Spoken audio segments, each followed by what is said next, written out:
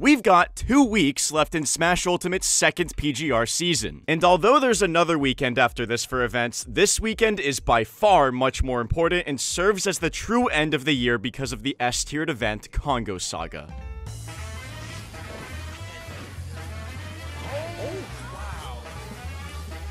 But why exactly is Kongo Saga so important, and why should you be excited about it? Well, that's exactly what we here at Pro Guides are about to tell you. And if you're looking for some last minute help on preparing for Kongo Saga, check out our on demand coaching on ProGuides.com. Our new Pro Pass grants you free passes to our Play with Pros platform along with a plethora of exclusive content, all posted daily. Make sure you don't miss our new Pro course with MKLeo himself, a new one with ESAM, as well as others coming soon. But with that out of the way, let's talk about the biggest reasons why Kongo Saga is a must-watch event for any Ultimate fan. So you probably hear the term S-tier being thrown around a lot in competitive Smash circles, but it's hard sometimes to contextualize what it means. A really complicated formula calculates event value, but in short, the tier of an event provides a shorthand for how important an ultimate event is based off of how many top players are competing, how much money is on the line, and how many people are entering the event in total. And S is the highest tier an event can be on this ranking. There have only been six events that have broken into the S tier this season. EVO, SmashCon, Big House, Shine, Main Stage, and now Kongo Saga. So putting the event besides names like that should help you realize just how crazy this event is going to be. And Kongo Saga not only is among these events, it sits with the third highest value of any tournament so far this year, only being passed by EVO and SmashCon. Registration is still open for the event too, so there's even potential for it to climb even higher by the time this video comes out. The next reason that Kongo Saga is going to be sick comes hand in hand with the first one. There is an enormous depth of talent signed up already. We'll talk about the importance of having all of the players at the top there later, but I think having a depth of talent is more critical for having a great event. At events with, say, 6 top players, the only matches you'll really be excited for happen in top 8 or on the last day of the event. But when you've got 30 to 50 top players at the event like we did at Big House, every day 2 set becomes a must-watch one, and even some day 1 sets have big upset potential. This means that you're going to have to have that second monitor or squad stream setup ready for this event, because there'll be at least 2 two must-see matchups going on at the same time all weekend. Another reason to keep your eyes glued to the big event this weekend is that this will be the first really huge event since the release of Terry. There's been tons of discussion on exactly how good the character is and quality performances at locals littered all across the world, but it feels like we don't have a definitive answer yet on how good Terry is. So hopefully Kongo Saga will let us know if Smash players should be as afraid of these special move inputs as FGC Twitter would lead you to believe. But it is important to keep in mind that Terry development in Ultimate is still in its infantile stage, and a lot of players probably don't want to risk their final big event on a DLC character. So we may not see nearly as much Terry as some would hope for, but you're going to have to be okay with what we do end up getting. Also hailing from the 6.0.0 patch, we'll probably be seeing a slight uptick and maybe even some upsets from the handful of characters that were buffed in that patch. You can check out our patch notes video from just a few weeks ago to see exactly what got changed. But for a refresher, the characters who got buffed were DK, Kirby, Jigglypuff, Robin, and King K. Rool. We haven't really seen any mains of these characters put up hallmark performances so far in Ultimate, but we've seen top players dabble with some of these characters. The most notable example being Tweek, who has sprinkled DK and K. Rool into some of his sets throughout Ultimate. Don't get your expectations too high for these guys though.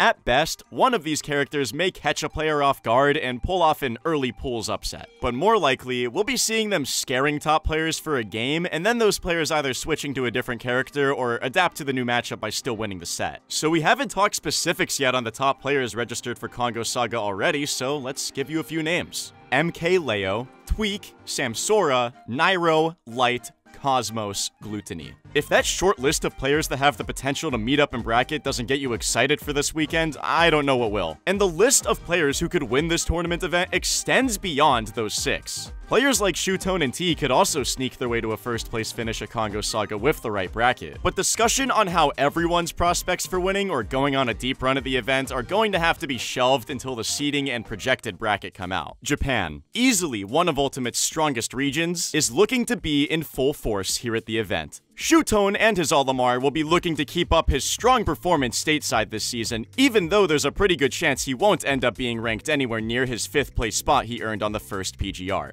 Pac-Man's champion T will for sure be adding a few more wins to his incredible resume that already includes Marss, Samsora, Light, and Glutonny to name a few. At Summit, players had much more time to prepare for Pac-Man, knowing their matches sometimes days in advance. But in double elimination bracket like this, T's got a huge element of surprise in his favor.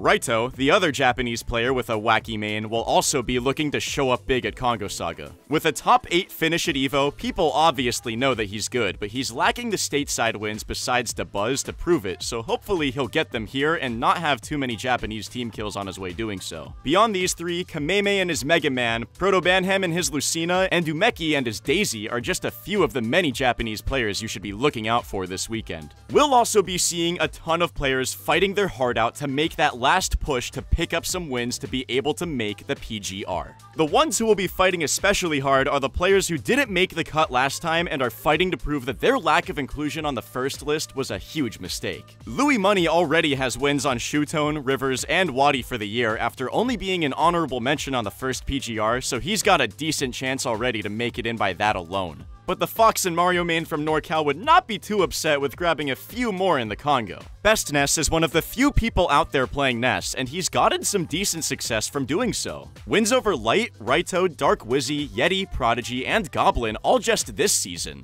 So he's good for the ranking, no question. But he's been so close to closing out some Game 5 sets and just falling short against MuteAce at Super Smash Fest or Sinji's Pac-Man at Glitch 7. So hopefully we'll see him finally clean this up at Kongo Saga. And then there's Elegant, who's had a weird year after not being too active early in Ultimate. He's going to be carried heavily by his low-tier City 7 performance, where he double eliminated Samsora and beat Cosmos. But he's got wins over players like Esam and Goblin to supplement it as well. Luigi is a character that feels feels like is talked about more than he's actually seen in bracket. Everyone knows about how good his grab is and the combos he can pull off, but we don't ever see in a bracket. So hopefully Elegant can change this at Kongo Saga. And beyond all of this, there's still so many storylines and thread to follow coming into this event that it's impossible to give them all the time they deserve. So let's just rapid fire throw a handful at you before we end off this video. Will MKLeo finish off this season only finishing at first or second at PGR events, or will Lightning finally strike twice at the same event in the form of two crazy upsets?